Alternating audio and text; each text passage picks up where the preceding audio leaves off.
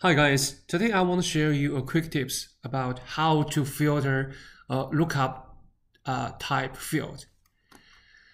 Okay, uh, so firstly, let's look at, uh, let's have a look what it looks like uh, finally.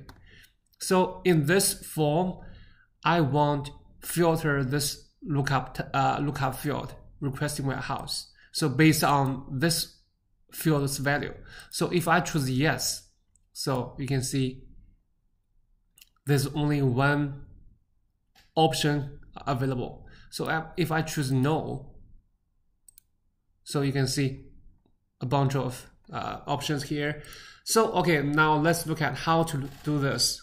I just you uh, just realized this uh, function through the uh, uh, the JavaScript.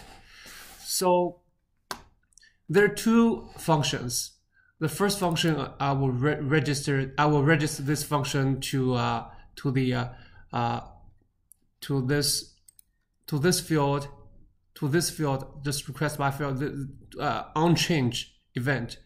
And also it will be triggered uh, onload event of this form. Okay let's focus on this uh, script. So uh, firstly we just uh, uh, get control and add pre-search uh, just register this callback function here. Uh, it's filter warehouse.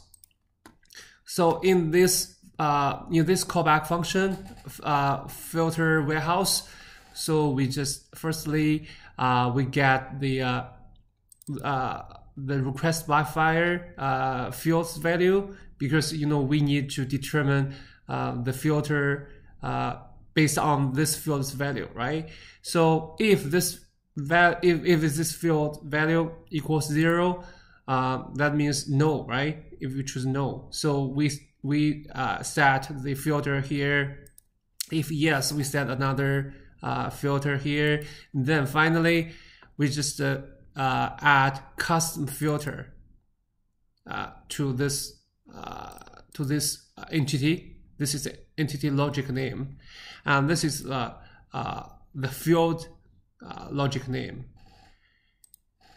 Okay, uh, I will put this script uh, and uh, in this in the description of my video uh, just for reference.